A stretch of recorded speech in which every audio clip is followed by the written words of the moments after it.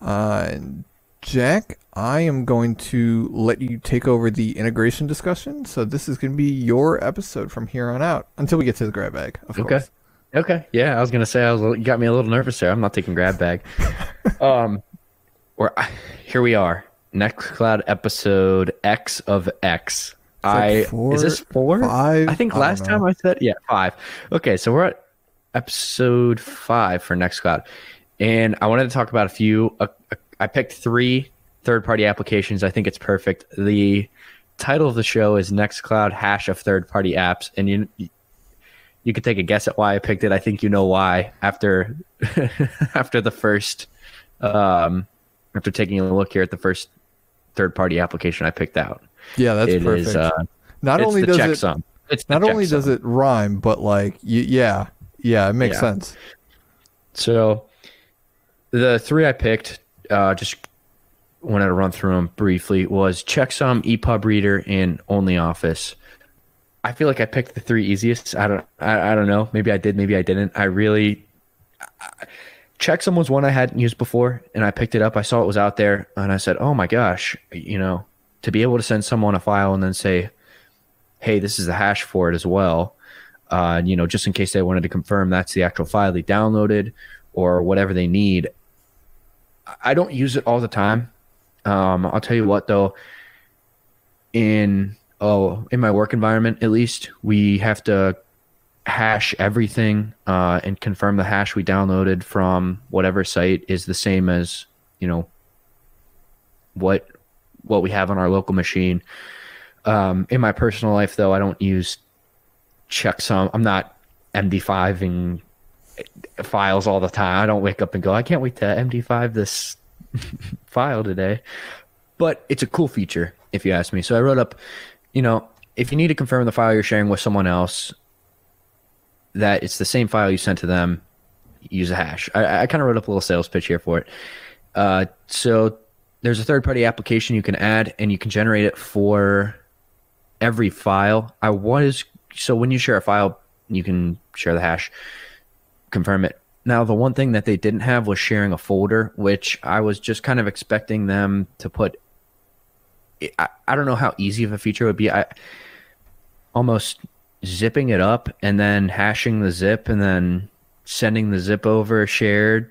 I I was kind of thinking about it. It just sounds it's just easier just to let it go and only do files, but would have been a nice feature to have. So that's kind of the one limitation I found. Now, for the hashes that you can pick out, it's pretty crazy. It's MD5, SHA-1, SHA-256, SHA-384, SHA-512, CRC32, and CRC32B. Now, I was familiar with all of them except CRC32, and I had to. I'm actually looking it up right now. I was trying to think. Okay, Is it cyclic redundancy check or something? like yeah, that? Yes, Boom. yeah. So I think it's more more or less for. Is that for just data pair? Is that just a? com- Well, that's I mean that's what a hash is. It just confirms data integrity. It doesn't do any encryption. It doesn't you know secure the file. It's just saying, all right, if I we talked in Bitcoin what a hash is, right? If I take the same Yeah. input, can I get the same output, right? And the output's always going to be random, except when you give it the exact same input. I thought CRC was for bit parity. I, I don't know why I was thinking bit parity for some reason. I guess it'd I be the mean, same it, thing. hashes hashes can be Yeah, used in bit yeah. parity, but yeah. So there isn't. It's it's a small third party application. If you need to hash your files, it's out there. Check it out. Uh, the next one was the EPUB reader, which I thought I, I don't know why I thought I thought there was one by default in just out of the box with Nextcloud. Was it because they used to i- include it by default out of the box.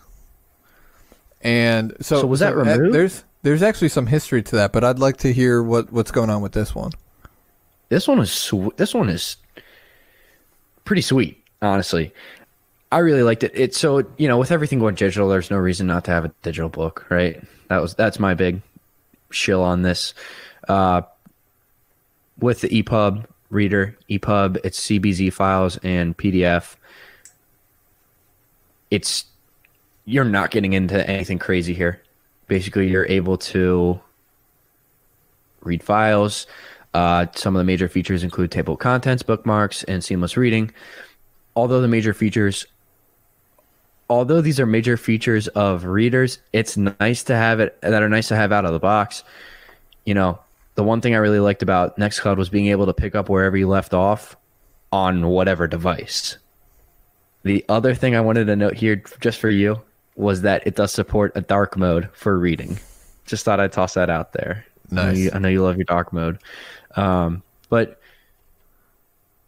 really with the EPUB reader, you're getting it's it's similar to any it's similar to any EPUB reader that's out there. I would say it's just embedded into Nextcloud, which I actually do prefer versus. I don't know if you use uh, your browser at all to read EPUB files or PDFs, just like Not Vivaldi or Firefox. I- I- I. I find myself doing that quite a bit. Uh, the nice thing I like about this is being able to pick up right where you left off. Um, and it's embedded into Nextcloud. So, did you have some history behind the EPUB reader that you wanted to share with? Yeah, was there apart. was there was an old version of this out there on the interwebs that got yanked for some reason. I forget, I forget the history. Um, but what I ended up doing, and if you go in the role, you'll actually see the history of the code there. I was grabbing the archive of it, unpacking it, changing the supported version number manually, and installing it. That's crazy. No way. So you were because just there ripping was an un- there you was were ripping it. up. You were rip. Let me get this straight. You were ripping an unsupported version, unpacking it, going into a file, changing to say, "Hey, this is supported," and then deploying it. yes because it worked. That's that's crazy. it worked. It was. I, I think I also had to do one other thing, like I had to change like a Python library name or something like that. But it it worked, um, because there was no EPUB reader. Because for some reason they were something something about the didn't- API incompatibilities, but it still worked itself. So I'm like, I just want an yeah. EPUB reader. Just Yeah. put that on there for I got plenty of books on there. I want to read them. So and, and I do read mostly on mobile, but like same same deal. So yeah, that was that was frustrating. Um, so I'm glad to see that there's actually an official way to do that now because that was Versus backport change code it's pretty bad. deploy. I mean, it like anything else, right? It taught me kind of how the applications Internals, are are, yeah. are s- set up. You know, they have a they have a file in there that says it's supported up to this version number, or able to operate in this version number, and if it's if the Nextcloud version is higher than this number, then don't allow it to run. And what you can do is you can just change that Flip and the yeah, yeah. Flip the look at Ant Hacker Man over there, flipping the version number, allowing it to run. Well, and you actually ran into that with the uh, the mail thing uh, when you were looking at the other apps because you had to have that one updated. yeah, I did. Um, that was one of the tricky things that we I kind of ran into with third party apps and app applications in general was that you know you go to upgrade Nextcloud and you're at the newest version, major version, minor version bump, whatever, what have you, and next thing you know, you log into Nextcloud and there's no applications. Your third party apps are gone, and you're like, "What's going on? This what happened?" Yeah. And sure enough, you have to just open up the apps page where they all are and just open them all up that way, or upgrade them all that way. Um, or you can use a cool, cool, cool little script. Um, so Yeah, yeah. So that was that was pretty pretty fun to implement and, and kind of dig down into that, and and that's why I wasn't too afraid of implementing what I did. Right, the the application updates. So, uh, yeah. So I think Oh, we yeah. beat beat that one to death. Um, what else? yeah. oh, and, and one the, thing I uh, did see, one thing I did see is that it does support bookmarking, which is huge for me. Yeah, It's Yeah. huge for me. And I mean, talking about syncing across devices, that's exactly where you need it. You need it, Right. you know, to to sync across. Well, if you want to pick up your book, you you know, the thing I think about is picking it up from a laptop and then going to mobile. Well, not only that, but when I when I read it, I'm probably going to read on mobile, right? That's just that's just how I'm going to read. But then when I'm putting together my show notes, what I'm going to want is the bookmarks that I highlighted, right? When I was reading it, I'm going to want to pull those out and throw those into the show notes so I can have my talking points. Like, and if that doesn't transfer across devices, then I got to start manually typing things out, like I had to with this thing because it's paper. I'm not doing that again. Paper book. How dare they? that? How dare they? What is this world coming got, you to? could have you could have got the mobile. You, don't sit here and act like you could have got the EPUB version. oh man. Okay. Anyway, the last one I had here was uh, Only Office. I love this one. I absolutely love this one. It's it's so nice to have. Only Office is basically allows you to view, edit, and collaborate on text documents, spreadsheets, and presentations within Nextcloud using okay, only Office docs. Basically, instead of Collabora, instead of having to spin up a full Collabora server, you're able to edit seamlessly whatever, you know. I think it supports multi it supports multiple document types in just straight out of Nextcloud. And you and I you and I when we tested it out um a couple weeks ago when I was up, you're like, "Hey, are you seeing these changes?" Now, granted, you couldn't find the backspace button on uh, mobile, but Eventually, I, think- did. I that Eventually, was I Pep- did. Pep But that was Pep ever.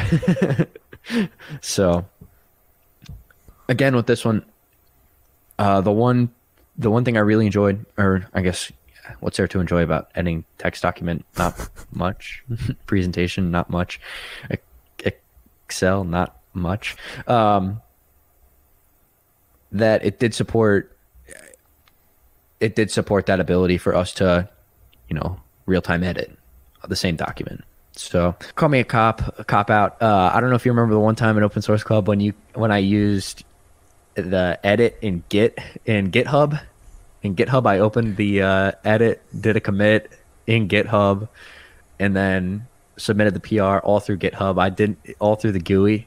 Uh, this is my cop out. This is my essential cop out for editing documents now. Instead of having to download the document, open the document, close the doc, uh, save the document, close the document, re-upload the document. Now I can just open it up, you know, fix the typo or whatever, and then back to it. So it's another, it's another Jack cop out, I guess if you want to call it that. well. I mean, it it works. I mean, it's it's something if I want to just make a change to the file, and you know, you you pair this with syncing a directory, right? And then I can I can work on my desktop. I can do everything, and then in the middle of whatever dinner, hopefully not a date, but like I whip, whip out my phone and, and I was like, oh, I wanted to make a change to that one. You know, I got a great idea and you know jot it down in in our Q2 planning document or whatever, and um, boom, it's it's there. So that that makes it easily accessible. And I mean, come on, to be fair, who's not on mobile almost everywhere these days, right? Stuff has right. stuff has to be accessible when you're on the move. And this makes that available to you. I don't I can't install a office suite on my phone. I just need to be able to edit a file and mm-hmm. this is how you do it. Right? This is how you do it in a lightweight kind of way that works with what we have set up. And to be honest, it's pretty slick. Very. And well, the one thing I really like about Only Office, another thing I really like about it, you don't need collab. You don't need to install a whole nother service to run it. Even if you're running this as an you know independent, you basically have these features available to you out of the box. You know, if you install the application. So, it's something that out, that's out there, just ready to go, basically ready to go. What did they say? No no installation no something required no really just a uh, a short short integration discussion just really wanted to cover what I, I think what i wanted to get into more or less was what's out what's out there how to use it why do you, maybe more of the why why to use it or when would when when would i ever use this There's a lot of stuff you could do by hand.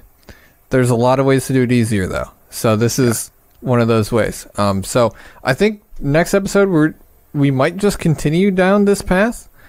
Uh, I don't know. I've I've got a couple of applications I would probably want to touch on. Yeah. But we'll see where that goes. That sounds good. Other than that, I don't have anything else to add. It was a quick integration discussion. Honestly, I I, I don't have anything else. If you don't have anything else.